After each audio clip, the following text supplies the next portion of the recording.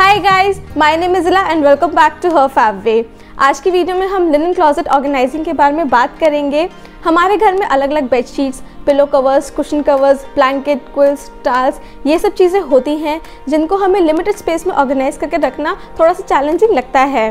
Specially अगर हम rented apartments में रहते हैं, क्योंकि हम वहाँ पर ज़्यादा मॉडिफिकेशंस नहीं कर सकते। इसलिए आज की इस वीडियो में हम देखेंगे कि इन सभी चीज़ों को हम किस तरह से ऑर्गेनाइज करके रख सकते हैं ताकि वो नीट तो लगे ही, साथ ही में वो इजीली एक्सेसिबल भी हो। So let's get started and guys before that video latest सभी अपडेट्स के लिए do not forget to join us on Instagram my Instagram handle is her fav way सो ये हैं वो सारी चीज़ें जो कि हमें अपनी लिनन क्लॉजेट में ऑर्गेनाइज करनी है। यहाँ रखी है सारी बेडशीट्स उसके बाद ये सभी कुशन कवर्स हैं। ये सभी टावल्स हैं। यहाँ पर सभी पिलो कवर्स रखे हुए हैं। ये है कुछ एक्स्ट्रा चीज़ें, जैसे कि टेबल रनर या फिर कुछ एक्स्ट्रा कुशन कवर्स इन सभी चीज़ों को ऑर्गेनाइज करने के लिए मेरे पास सिर्फ़ ये दो शेल्व्स हैं। यहाँ पर सारे क्विल्स और ब्लैंकेट्स रखे हुए हैं। और इनको स्टोर करने के लिए ये लॉफ्ट है।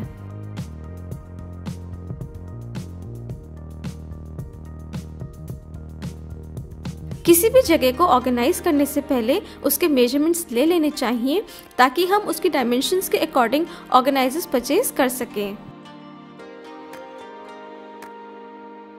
मैंने शेल्फ्स के डायमेंशन के अकॉर्डिंग ही ऑर्गेनाइजर्स ऑर्डर करें, ताकि हम स्पेस को अच्छे से यूटिलाइज कर सकें। एंड फाइनली सभी चीज़ों को ऑर्गेनाइज करने के लिए मैंने एट बास्केट्स और three space saver bags purchase किए। ये सभी बास्केट्स फोल्डेबल भी हैं। पिलो कवर्स को ऑर्गेनाइज करने के लिए मैंने उन्हें दो सेट में डिवाइड किया है। ये है स्मॉल पिलो कवर्स और ये है लार्ज पिलो कवर्स अब हम इनको फोल्ड कर लेंगे। यहाँ पर मैं आपके साथ एक टिप शेयर करना चाहती हूँ कि आप पिलो कवर्स को हमेशा एक पेयर बनाकर ही फोल्ड करिए। इस तरह से आपको उन्हें कभी ढूंढना नहीं पड़ेगा।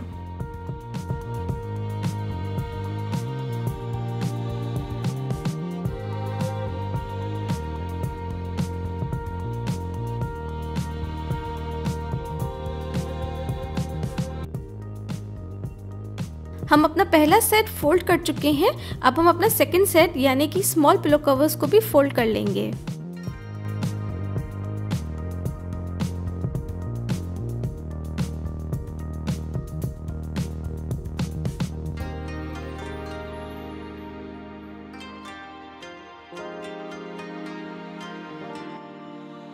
पिलो कवर्स के लिए मैंने ये बैम्बू बास्केट्स ली हैं।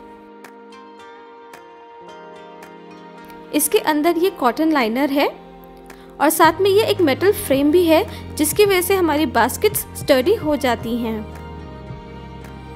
अब हम इसमें सभी पिलो कवर्स को प्लेस कर लेंगे। एज यू कैन सी सभी पिलो कवर्स इसमें बहुत ही कंफर्टेबली फिट हो गए हैं। They are not just looking neat but very nice as well और पिलो कवर्स रखने के लिए इसमें अभी भी स्पेस है।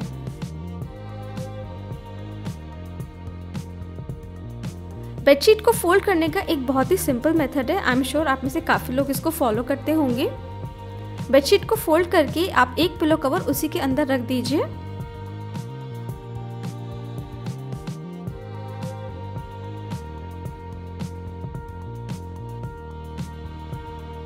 और दूसरे पिलो कवर में हम बेडशीट को रख देंगे।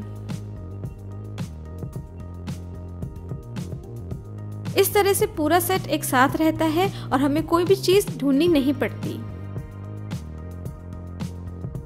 इसी तरह मैंने बाकी सभी बेडशीट्स को भी फोल्ड कर लिया है। बेडशीट्स को स्टोर करने के लिए मैं ये जूट बास्केट्स को यूज़ कर रही हूँ, जो कि काफ़ी स्ट्रॉन्ग हैं। साथ ही में इनकी डेप्थ काफ़ी ज़्यादा है और इनके अंदर भी कॉटन लाइनिंग है।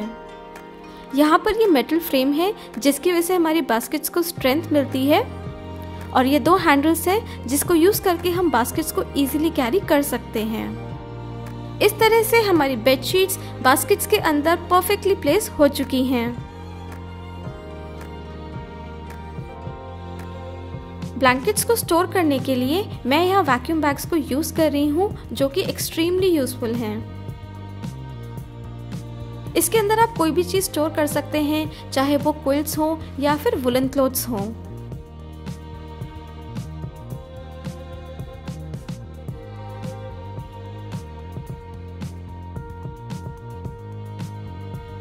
इसको यूज़ करके आपकी सारी चीज़ें डस्ट फ्री मॉइस्चर फ्री और इंसेक्ट फ्री रहती हैं।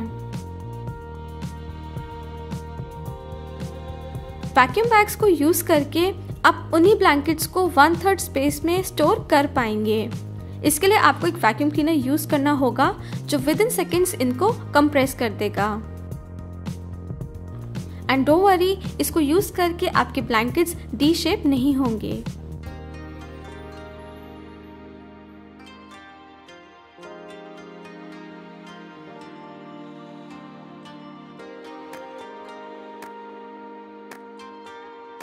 और अब हम अपने ब्लैंकेट्स को वरी फ्री स्टोर कर सकते हैं। कुशन कवर्स को ऑर्गेनाइज करने के लिए मैं उन्हें दो सेट में सेग्रीगेट कर रही हूँ। पहले सेट में है सभी थिक फैब्रिक के कुशन कवर्स जैसे कि वेलवेट या फिर जूट और दूसरे सेट में है सभी थिन फैब्रिक के कुशन कवर्स जैसे कि कॉटन या सिल्क अब हम इनको भी क्विकली फोल्ड कर लेंगे।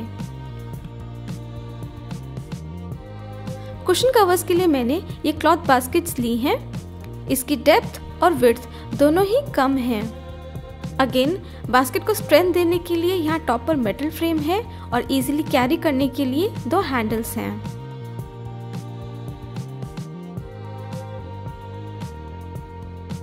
अब हम इसके अंदर कुशन कवर्स प्लेस कर लेंगे।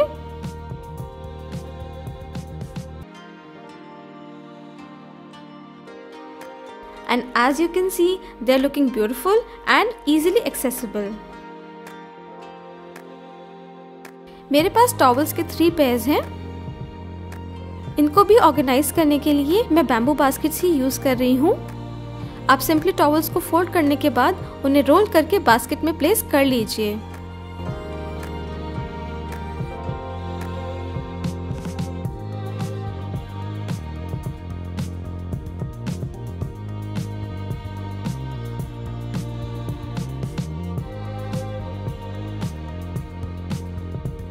तो हमारे टावल्स भी ऑर्गेनाइज हो चुके हैं।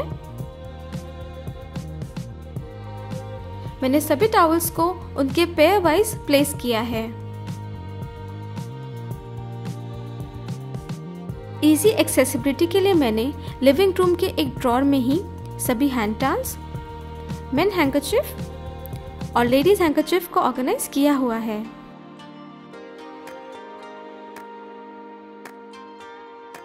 इसके अलावा जो भी कुछ एक्स्ट्रा चीज़ें हैं, जैसे डिफरेंट शेप्स के क्वेश्चन कवर्स या फिर टेबल रनर्स उनको मैं अलग से एक बैम्बू बास्केट में रख रही हूँ।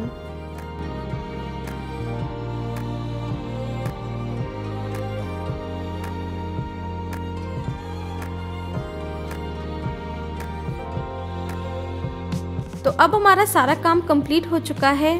This is how everything looked before we started और सभी चीज़ों को ऑर्गेनाइज करने के बाद this is how it looks सभी चीज़ें बहुत ही नीटली ऑर्गेनाइज हो चुकी हैं और वो कम्प्लीटली विजिबल भी हैं।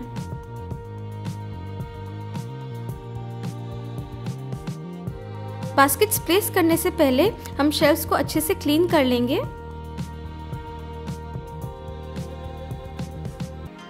और अब हम इसके अंदर सभी बास्केट्स को प्लेस कर देंगे।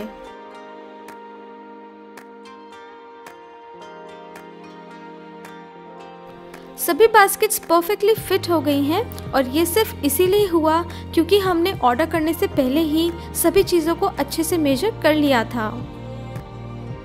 अब अगर आपको कोई भी सामान चाहिए तो आप उनको इजीली पुल आउट कर सकते हैं। वन मोर थिंग अगर आपकी वार्ड्रोब किसी डार्क कॉर्नर में है तो आप इस तरह की लाइट भी यूज़ कर सकते हैं। ये light three triple A cells से ऑपरेट होती है। इसके पीछे ये ग्लू है, जिससे आप इसको स्टिक भी कर सकते हैं। ये एक मोशन सेंसर लाइट है। इसका मतलब ये सिर्फ़ तभी ऑन रहेगी जब आप इसके सामने काम कर रहे हो। और उसके बाद ये ऑटोमेटिकली 15 टू 20 सेकेंड्स बाद ऑफ़ हो जाती है। और जैसे ही ये कोई भी मोशन सेंस करती है, ये ऑटोमेटिकली ऑन हो जाती है। और फाइनली मैं लॉफ्ट में सभी कोल्ड्स को भी प्लेस कर रही हूँ।